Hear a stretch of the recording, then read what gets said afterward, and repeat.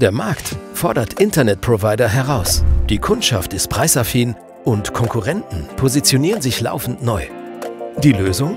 Statt eine starre Jahresplanung setzte Energie Wasser Bern 2018 auf agile Programmatic Creativity. Basierend auf Dateninsights wurden Werbemittel on the flow kreiert und programmatisch ausgespielt. Ziel war, junge Nutzer von Kombi-Angeboten zu einem Wechsel zu bewegen. Den Anfang machte eine Aufklärungskampagne. Sie knüpfte an der bestehenden Markenführung an und positionierte EWB Internet als das Internet aus Bern für Bern. Leitplanken definierten den Spielraum in den jeweiligen Phasen. Analysen und Marktforschungen halfen, die Werbemittel laufend zu verbessern und die Zielgruppen immer besser zu verstehen. Live-AB-Testings ermittelten die besten Bild-Text-Kombinationen. Zielgruppen wurden immer feiner segmentiert. Kanäle und Medien kamen dazu. Neues wurde ausprobiert und das ohne langwierige Abnahmeprozesse.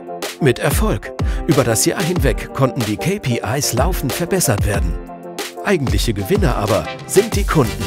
Sie erhielten zur richtigen Zeit nicht nur das passende Angebot, sondern auch in einer für sie relevanten Form. EWB beweist. Der Weg zum Erfolg führt über Data-Driven Creativity statt starrer Planung.